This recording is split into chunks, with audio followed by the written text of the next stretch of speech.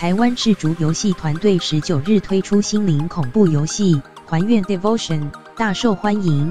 不但登上 Twitch 游戏，更有许多游戏实况主开台。而曾因《通灵少女》爆红的退休灵媒索菲亚，昨天二十五日晚上也开玩这款游戏。但她随后也在脸书上爆出有看到美心站那里，令不少网友感到发毛。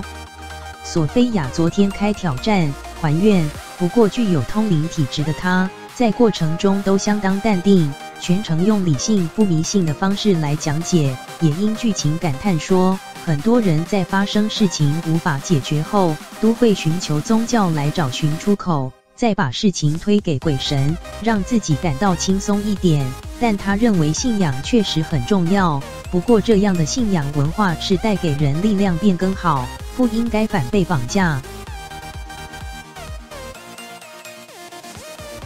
而索菲亚也表示，教育已经普及，希望不要再有因延误就医、吃偏方导致耽误治疗而造成悲剧。更强调应该把身体交给医生，把心交给菩萨。最后一语道破的说：“爱我们的是神，控制我们的是人。”他不同其他人的观点也引起不少共鸣。